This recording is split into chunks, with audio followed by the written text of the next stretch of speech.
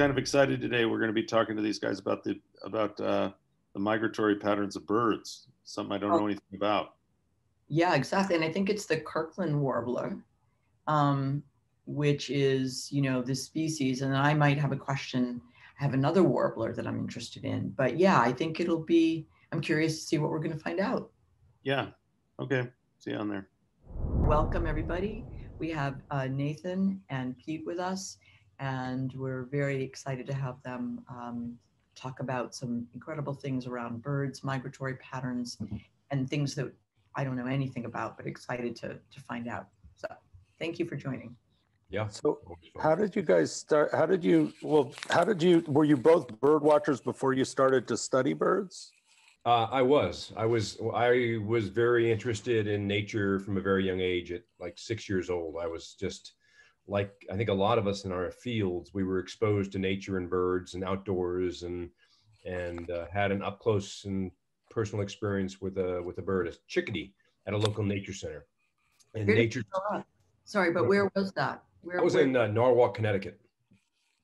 Nature centers are often sort of the gateway drug to you know deeper understanding and deeper excitement about birds or salamanders or other things. They're they're definitely the the other form of a library in a community. Right. And and Nathan, was it the same kind of experience for you? A little bit different, I guess. My um, both my parents were uh, public school science teachers, and so sort of grew up around science and, and animals and was interested generally, but I didn't really develop my love and, and passion for birds until I was in college and started actually doing some field work and some research with birds. And that, that was when I knew, you know, I wanted to work with birds for the rest of my life. Um, up until then, I just kind of had a lot of interest in nature and, and spending a time outside and, and, general appreciation for science. And how did it narrow to warblers or did it, did, am I pronouncing that correctly? And, and did yeah. that, how did you guys get interested in that particular bird? So it's a, it's a large group of birds and for me, it was basically that's what I started studying. That was kind of where I got my first job. And so that's what I became familiar with. And, and for me, it's sort of easiest to think about and develop interesting questions with what you're most familiar with. And so I've really focused on these smaller warblers and other songbirds, um, whereas Pete's worked on a lot of different types of birds. Um, and and you know, it, it, it, when you're when you first go and you're going to study a bird right is it different than than you would like like what does that mean? Does that mean you go into the into the you know the woods and you and you you observe the bird? So it often starts with that. I mean it often starts with a basic you know uh, curious question. You know why is the bird doing that? Why is that bird here? Where did it come from? What is the bird eating why are there no birds here anymore? You know it's it's it's all about curiosity and being able to sort of then ask a question and then make that question a little bit more sophisticated to put it into a scientific hypothesis and then come up with tests or experiments to test that idea. And you know I, am embarrassed to say uh, or to, to to count the number of years that i put into school to be able to put it into hypothesis and experimental framework to where we are now. But lots of schoolwork is, and then both Nate, Nate and I can talk about that uh, has gone into developing our ability to take that simple observation and put it into an experimental framework so we can then answer the question. Are you asking the question about the birds themselves? Are you looking at the birds as a gateway to understanding the rest of our planet, our systems? You know, like, is it the love of the bird or is it the bird's relationship to our to us and Earth? So, yes, yes, and yes. And that is a very, very good question. Um, because there definitely are some people, some scientists that are more interested in the question, and then there are others that are more interested in the animal. And I think, you know, from my perspective, I bleed feathers. I love birds. I really enjoy, you know, when I'm watching a bird, I'm in my happy place.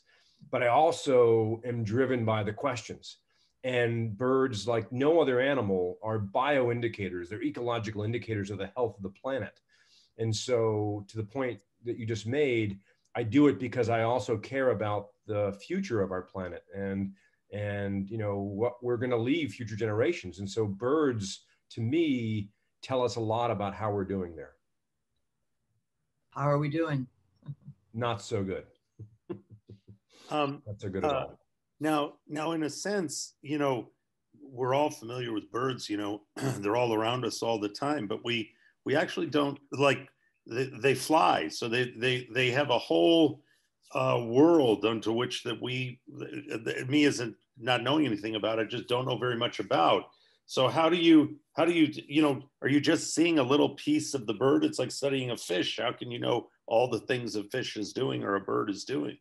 I think that's been something that that particularly Pete and I have been working to overcome because I think you're quite right that for decades and decades of studying birds, we've often focused on one little part of its life cycle. What is it doing when it's nesting? But they only spend a couple months of the year nesting, and especially these migratory birds, they're moving often thousands of miles away to spend you know time in other countries and, and moving across political borders and so their life cycles are actually quite complicated and that makes studying them both more interesting but also also more challenging. And a lot of our research is focused on showing that you really have to consider this full annual life cycle um, to fully understand what's going on. More than annual because in this latest study that that I read, you you um, there's some indications that the bird is actually thinking about where it's going to be next year, right? Like it's it's Absolutely. it's you know it has a it has a whole life uh, you know much more it seems much more complicated than I would think of just how a bird thinks. Indeed, yeah. So we we're often sort of focused on this full annual cycle, but the place that we would really like to get is kind of looking across the whole lifespan of individual birds. Um, often the technology isn't doesn't really allow us to do that right now, but it's definitely where we would like to to head. I think. Now, tell us about this this most recent study you did because it's it's it's pretty, pretty interesting. Sure. So the basic idea is that we we had set up a study in which we were going down to the Bahamas and putting these little radio tags on a species of bird called the Kirtland's warbler, and that's where they spend the winter. And then using these kind of automated radio towers um, that can detect these birds as they fly past them, we're able to basically tell when the birds leave the Bahamas and pick up little hints about where they're going during migration. But the really cool thing is that we can then find these exact same individuals on the breeding grounds in Michigan, thousands of miles away. And so we had had this study planned, and I was getting ready to give a talk on this um, topic and began to create some animations of the movement data. And I saw what I first noticed was that during the breeding season, when birds should be basically not moving around at all, they're sort of hanging around within a few hundred meters of their nest for the whole season, we saw some really big movements. And I initially assumed that it was some kind of error in the code that I was running or something like that. But after, you know, really pouring over the data, we saw that these movements were real. So some individuals were moving 5, 10, 50 kilometers or more away from where they had originally settled on the breeding grounds. And that movement at that scale was really um, unprecedented in, in other birds. Um, and so that sort of led us into this year long rabbit hole of, um, of looking at these movements and trying to understand what they mean.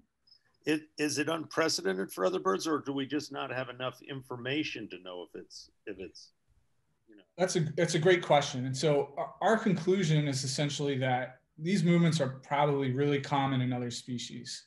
We have some because Kirtland's warblers have such limited areas in which they breed.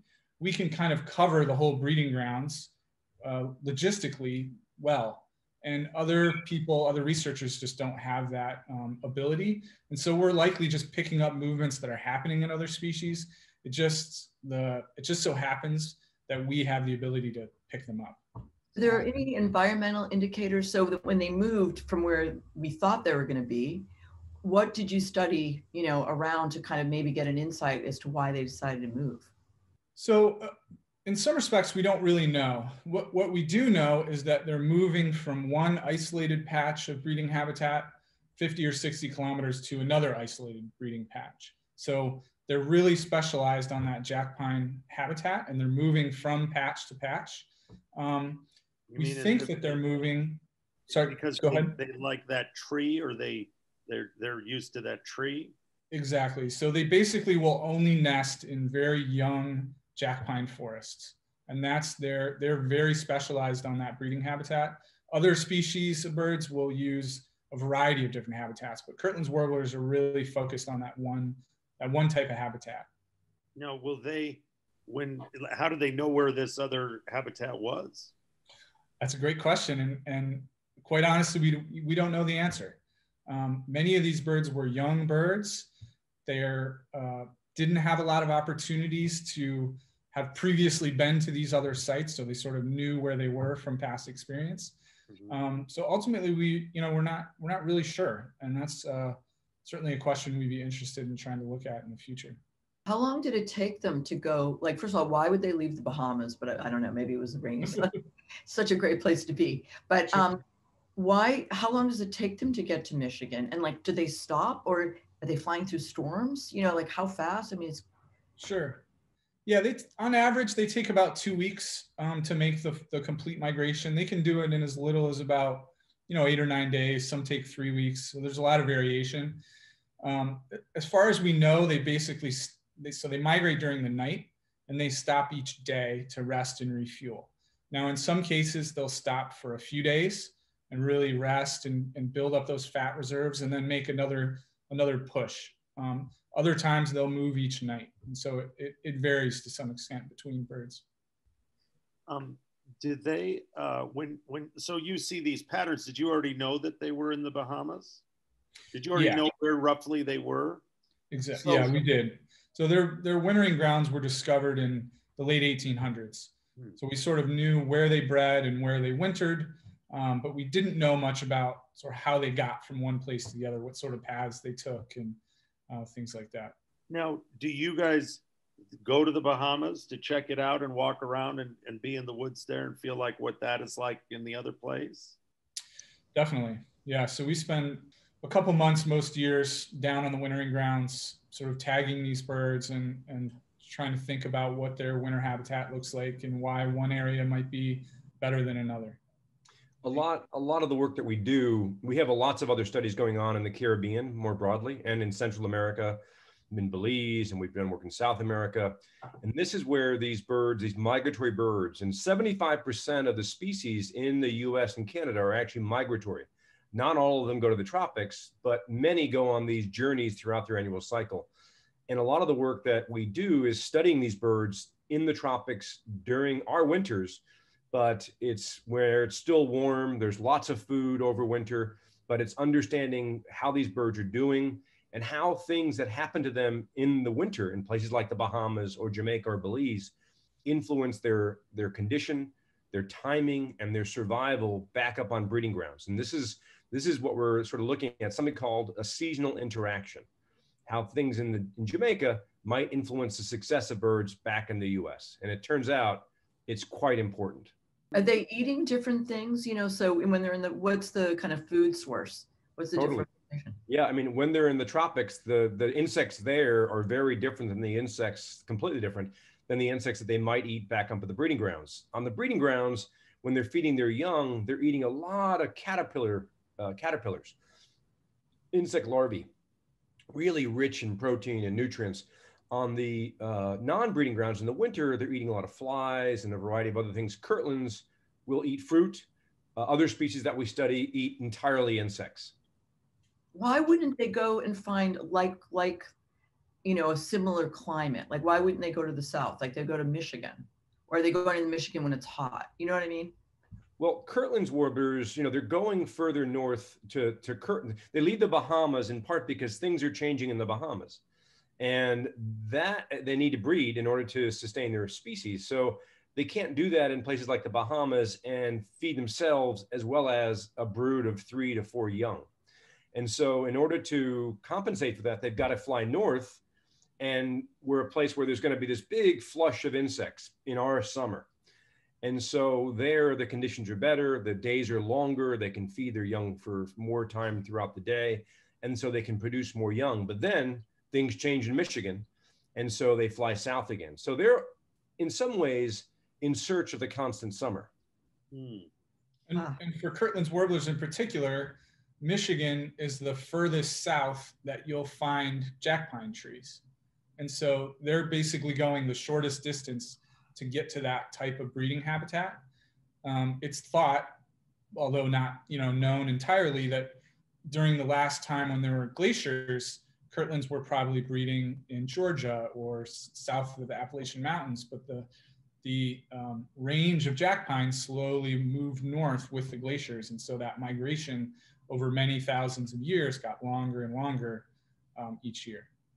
And there's no jack pines between the two places? No, exactly. Right. Um, you know, you said that some things that might happen in the Bahamas might affect things that happen in Michigan. What were some of those causal things that you found?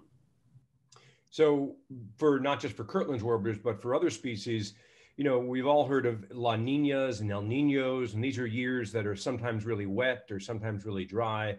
And when that happens, that changes the conditions of these habitats. So in some winters when the uh, it's really dry, that influences the condition of the birds or when they may depart on spring migration.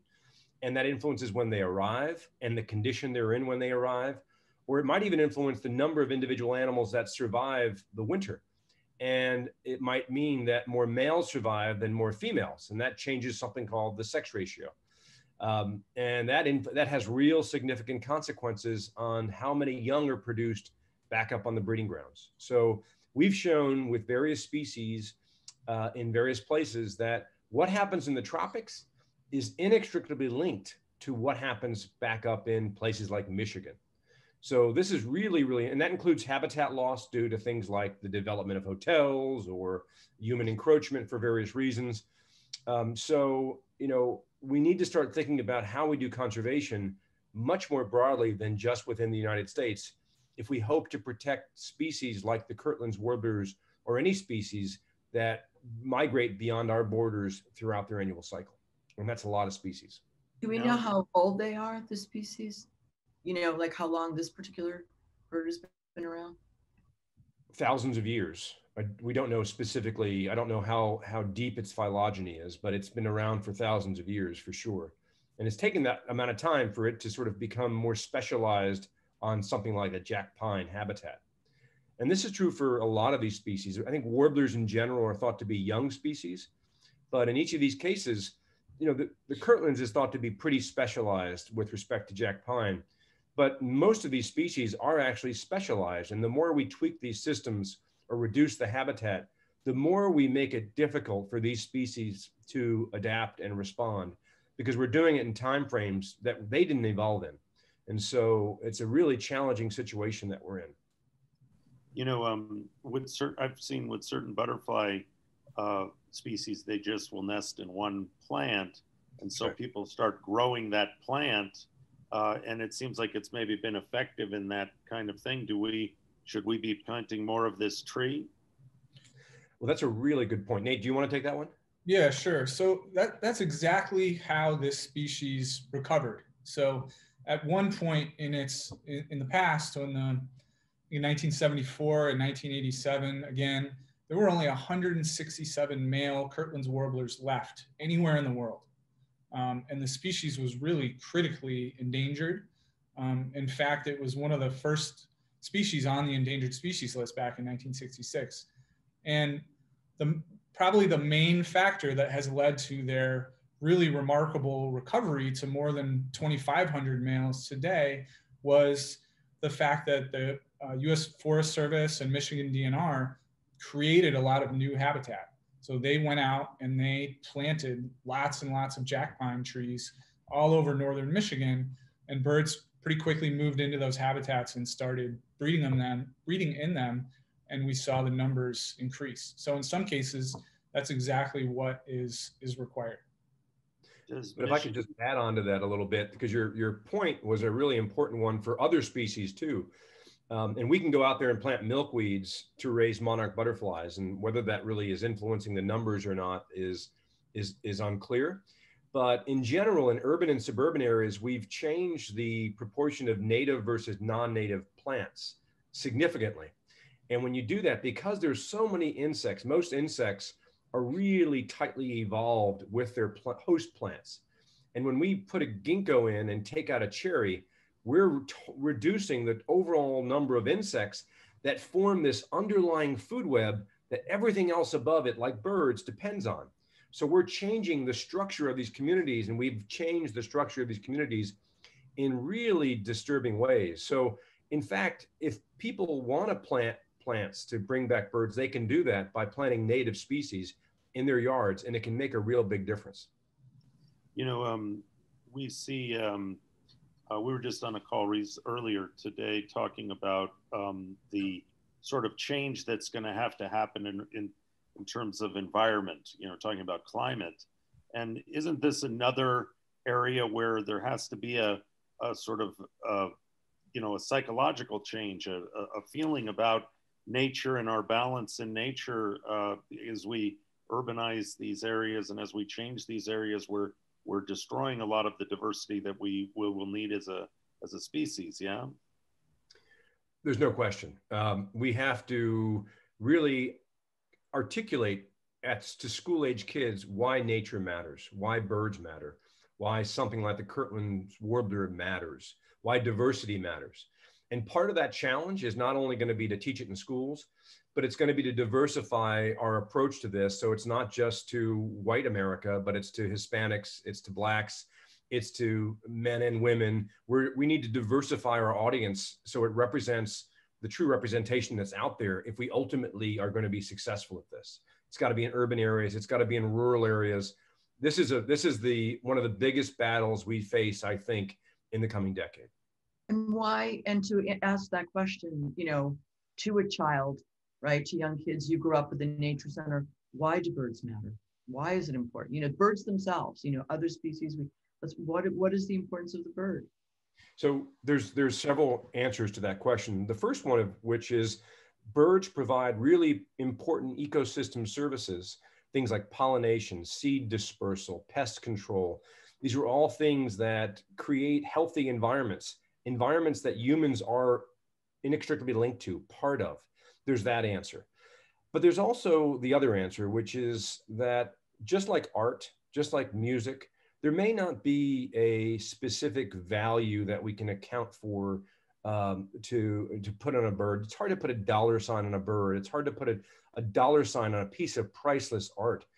But it's priceless because it present it gives us something as a society, as it's something uh, about our about our future that we all depend on this thing, that we appreciate this thing. And I, I, think we have to start thinking about birds in the same way we think of priceless art, that it's something that we have to sort of save and conserve and preserve for future generations.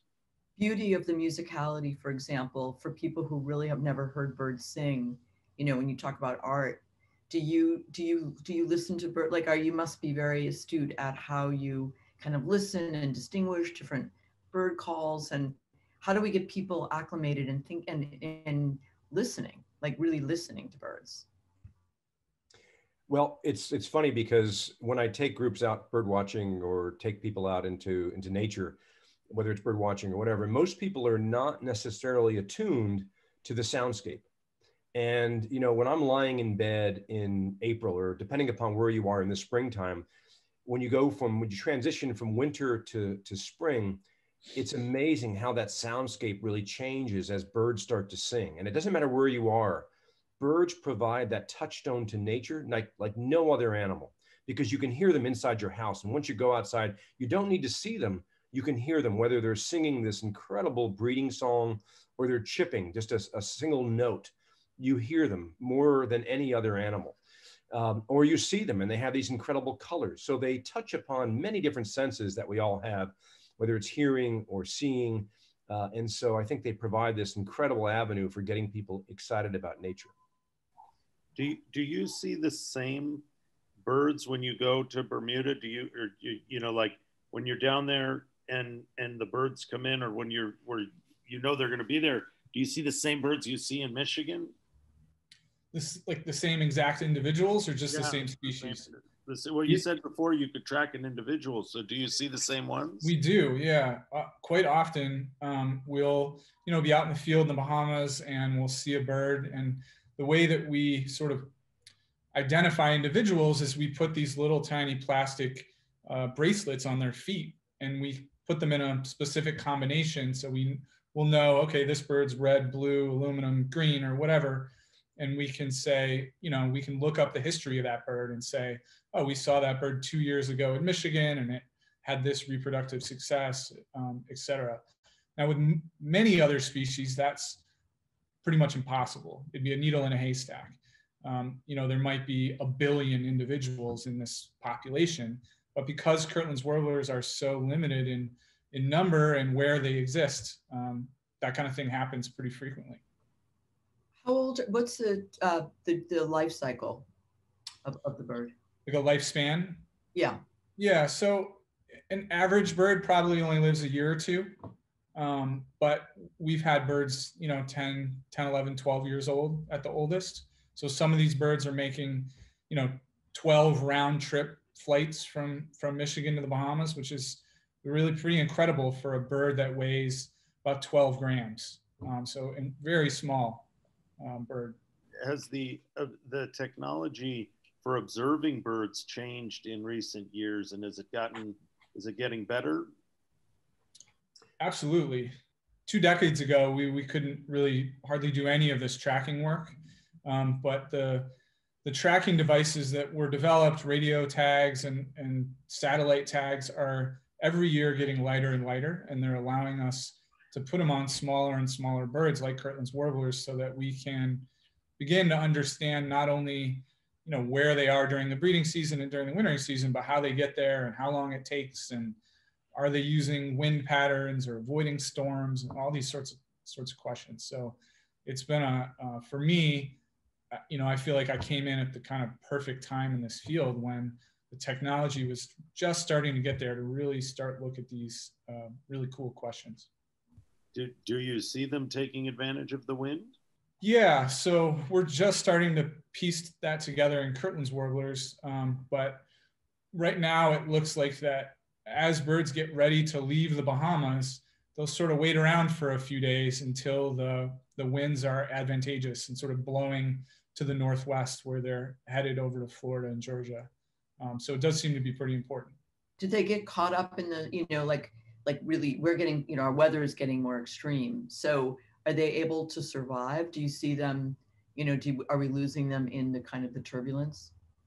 We, we don't really know on a, on a kind of individual level. Um, hurricanes are obviously, you know, there's been some, some really devastating hurricanes in the Bahamas recently. For the most part, they've happened when Kirtland's warblers were still in Michigan. And so hasn't probably directly killed a lot of birds. And in the end, it probably helps create a lot of habitat down there. The habitat that they like depends on this regular disturbance. Um, but for other species, I'm not sure. Pete, do you have any examples of where So storms the, have uh. In the Caribbean, hurricanes typically impact hummingbirds more than most other species and other species that depend on nectar because they rip out all the flowers. They get rid of, you know, sources, really important sources of food for species like hummingbirds or have, or species that are really specialized on particular habitats. And if those habitats just become decimated, it, it's a problem. But uh, because of the problem, you know, the question we started off with is how do you track these birds that move around? It's it's really hard to study, you know, how birds are truly impacted by these things and by weather and by climate. And so you'd be surprised that, you know, we really don't understand much about how climate and climate change are impacting bird populations in the future. We can make predictions, but it's tough. We know that fires, you know, all the fires that we experienced out west, I'm sure the fires killed some birds individually, some species individually, but the long term indirect impacts of how that fire influences the overall amount of habitat, habitat that's important for breeding birds, et cetera, that will probably be the impact that will have long lasting effects rather than direct mortality on those birds. So, you know, while the, the hurricanes that decimated the Bahamas were ultimately maybe good for Kirtland's, there may be other species that are negatively impacted by the loss of those habitats as well. Do they So- provide any, um, you know how they say like, like before there's an earthquake, you know, dogs will howl? Or are there, do they have predictive, you know, things that we can follow with regards to, to you know, climate or anything? Do, is there, do they get really quiet or is there anything that you've noticed about this species? Not that we know about, unless unless Nate hasn't told me about something yet. But you know, for for a lot of these species, it's it's there's there's anecdotal information out there that sort of suggests that they they arrived here just prior to a storm or you see individual birds moving on the outskirts of a storm and i don't have any any um, specific things that i can point to but i wouldn't be surprised at all if there was something going on either in barometric pressure or subtle winds or other things that birds were using as early alarm systems things that we haven't figured out yet. And that's true for not just birds but other animals as well. Um, navigation you know how do they when you when you watch them flying are they flying directly from the bahamas right to those groves of trees?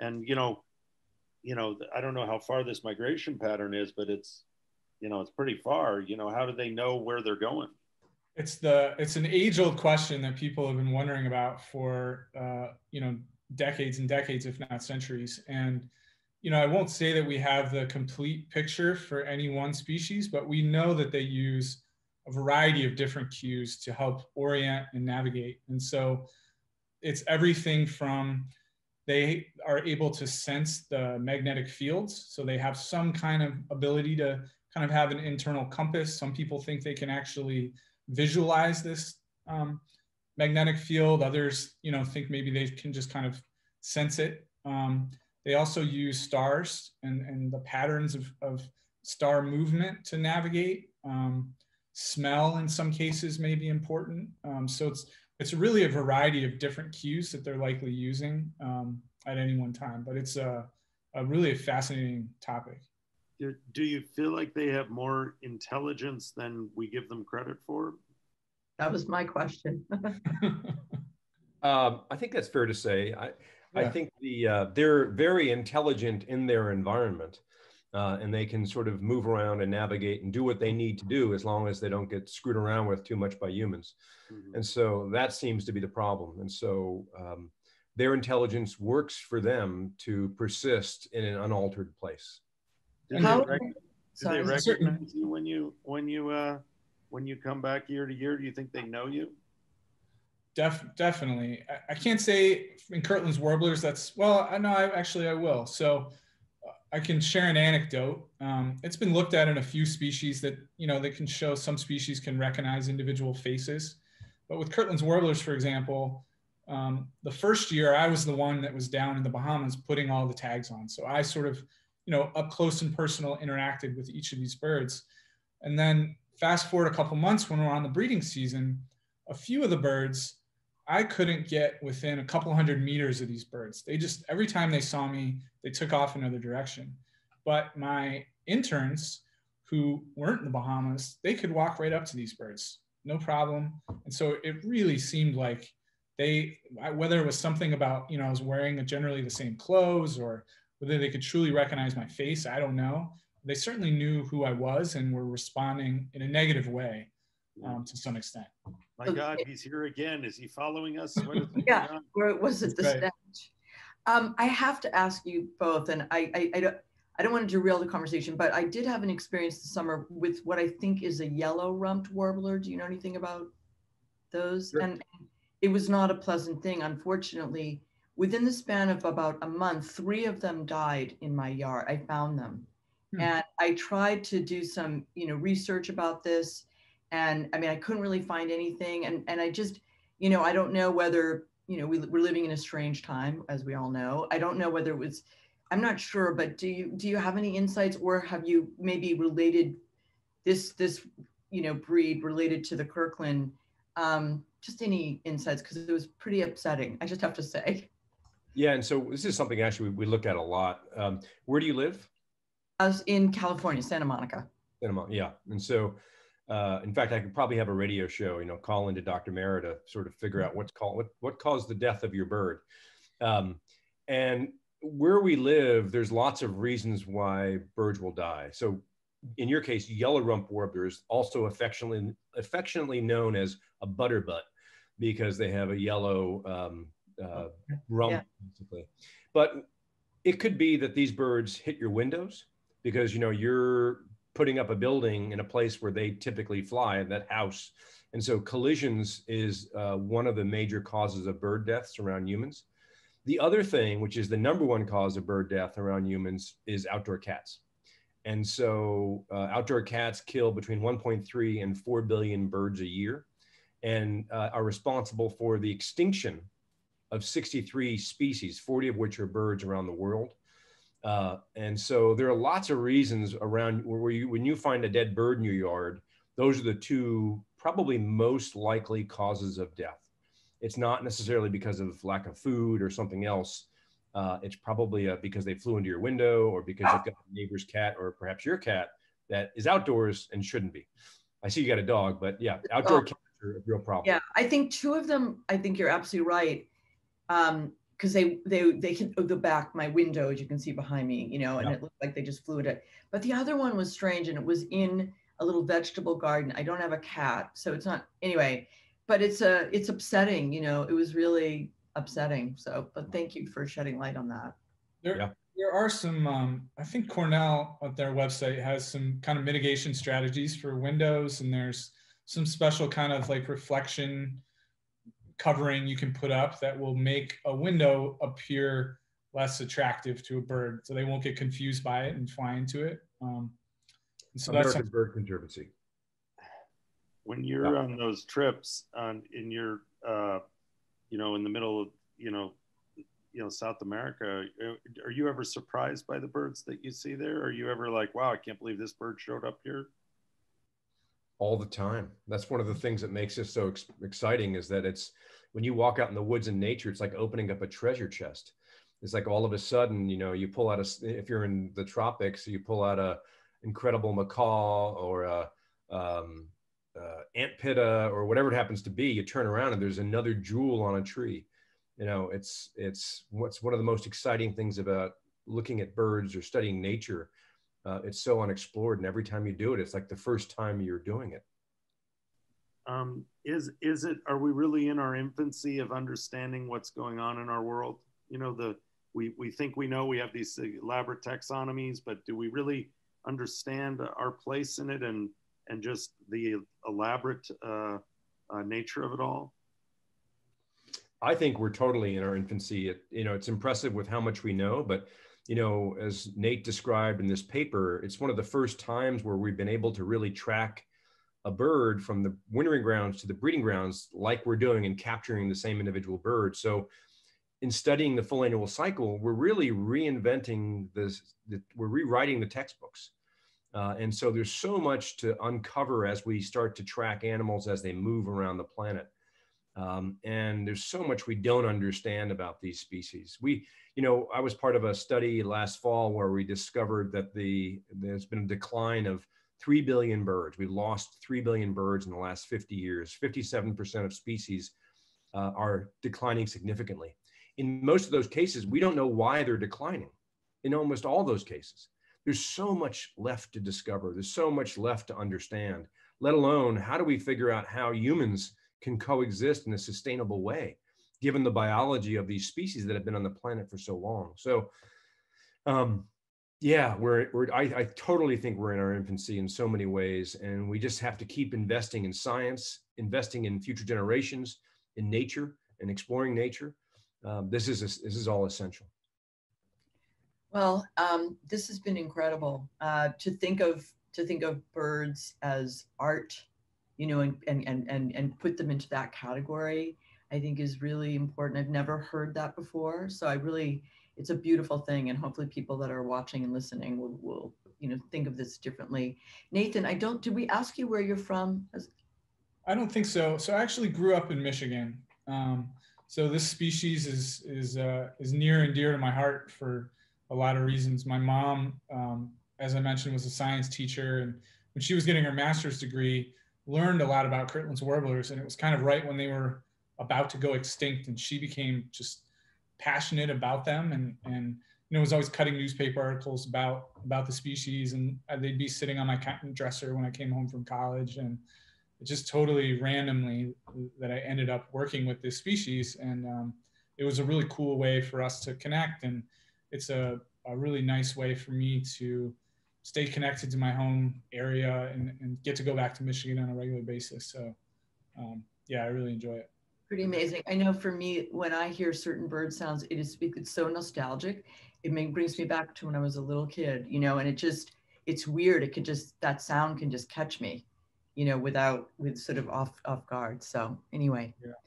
thank you again um, so much for for coming on and, and and sharing your insights and knowledge with us. Yeah, yeah thanks for having us. Wonderful. Our pleasure.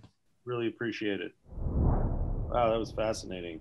That was, you know, honestly, I I to it was fascinating, and I didn't know. I mean, there's so much you don't know, and by studying one thing, I think that, but to to think of the the way that they sort of see, or Peter talked Pete talked about seeing um, a bird as a work of art, you know, and to think about it and to yeah. think about the their uh, singing as as music too. Just it's really beautiful. So yeah, really, really uh, wonderful analogies. Really wonderful to learn about the patterns of these birds. Quite incredible. Yeah. yeah. All right. Okay. I'll see you in the next one.